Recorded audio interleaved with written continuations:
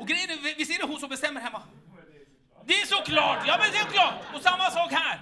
Den här store mannen, och du, det är du som bestämmer hemma, eller hur? Hon bara ja, kolla, han vågar inte sönder. Han bara, så här lång och utan någon som helst makt. Det är hon som bestämmer. Skånskan, och du, det är iranskan, och du, det är Felicia, eller hur? Du har inget att säga till honom. Jag ser det på dig. Hon har tvingat på dig den här skjortan.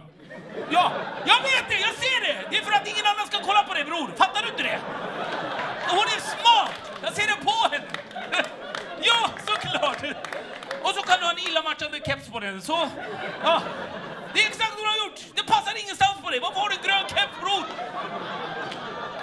Alla har klätt upp sig, du har klätt ner dig för att hon har velat det. Ingen ska kolla på dig. Och så ger hon dig mat, mat. Blir tjock så ingen kollar på dig. Ja men det, visst var du mycket smalare innan du träffade henne? Ja absolut, ja men det är så.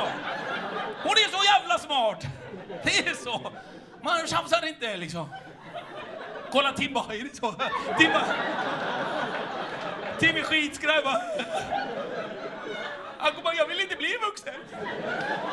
Det är första natten han kommer fatta vad gråtrunka betyder.